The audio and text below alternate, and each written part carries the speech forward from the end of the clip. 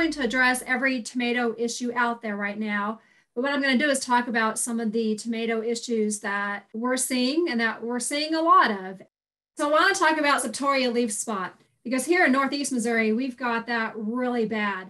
And it's probably bad all around the state because Missouri's had a lot of rain. Here in Adair County and pretty much most of Northeast Missouri, we had around 14 to 16 inches throughout much of our region in a 30 day period. It's only been in the last week that we've not had much rain. Now, it did rain on Saturday night here in Kirksville, rained pretty good, got quite a bit of rain in parts of um, Kirksville and Adair County. But for a 30 day period there, it rained and it rained and it rained.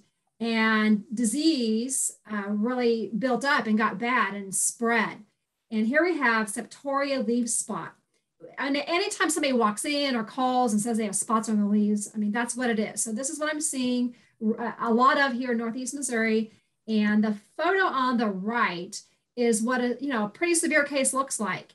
And you can see that the leaves, um, after they turn yellow and get spots, then they will turn brown, they dry, they get crunchy, they fall off, and the plant does not have very much foliage. So you see a lot of tomatoes there that have no foliage. That's not good because issues are going to occur or can occur when the tomato plant does not have enough foliage. But this is what can happen when your tomato plants do not have enough foliage. The tomato fruits can get yellow shoulder. That's where the tops of the tomatoes or the shoulder of the tomato turns yellow. And if you cut one open, you may find a hard white core. Now, people have asked me, can I still eat these tomatoes? Is it going to, you know, is it bad? Is it going to hurt me? The answer is they're fine to eat. They're not going to hurt you.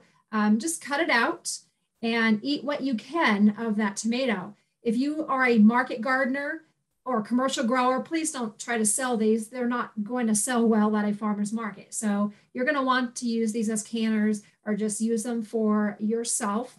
Okay. But that is the result of not having enough foliage on tomato plants. Now, let's talk about control. So every year, this is what we recommend people do for disease control in tomatoes. We'd like you to have, you know, several inches of straw around every tomato plant. I also put it around pepper plants and eggplants and also under my cucurbit plants like the pumpkins, watermelon, cantaloupe.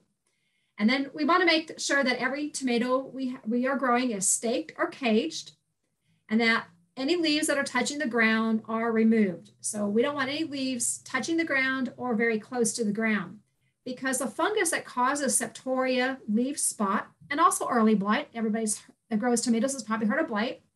Those the fungus that causes those problems is soil borne. And if you don't have any straw or cover on the ground around your tomatoes, then when it rains hard or even when you water, it splashes that fungus up onto the lower leaves. And if it keeps raining like it did here uh, in the, you know, for 30 days, it just, it spreads and it spreads up the plant and it's, you know, it spreads to all your tomato plants.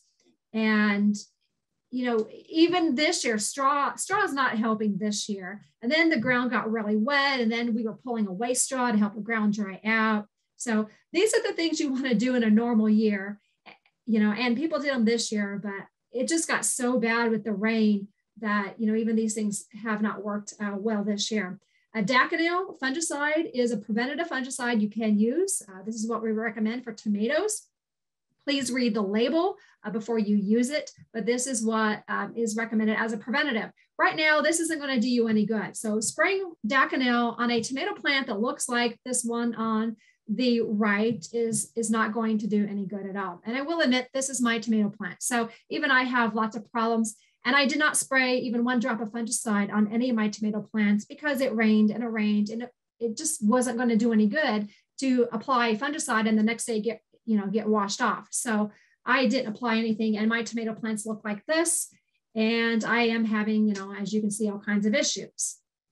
Now going on to another problem I'm having, um, that is stink bugs.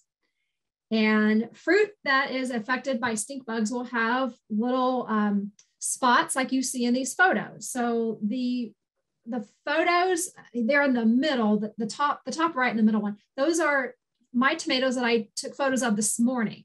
The photo in the lower right, um, that was a photo that came in several years ago, um, maybe from one of my colleagues that's on now. uh, from somewhere in the state. And th these are all photos of stink bug uh, damage. So the stink bugs have a piercing, sucking mouth part, and they pierce that mouth part into the tomato fruit and they suck out um, the, the lycopene, uh, or the red coloring that uh, makes the tomato uh, red. And this is what um, your tomatoes will look like. So how do you get rid of stink bugs? Well, you can catch them, try to kill them. I've caught a few and smashed a few. You could spray them off with water, but that may not be, you know, a, real great idea because the more water you put on the leaves of the plant, the more the fungus is going to spread. So, you know, it, it can work, uh, but, you know, just be aware that it does spread fungus. And then insecticides, and I have uh, two here that are labeled for stink bugs, uh, pyrethrin, which is derived from chrysanthemum flowers, and then uh, Sevin uh, active ingredients carbaryl. So both of those are labeled for tomatoes and labeled for stink bugs. And then always read the label before applying any insecticide. And we are still seeing some people with herbicide uh, damage. You know, most of this occurred weeks ago when our row crop farmers were spraying uh, herbicides on soybeans and still, you know, still seeing that uh, in, in, some uh, plantings.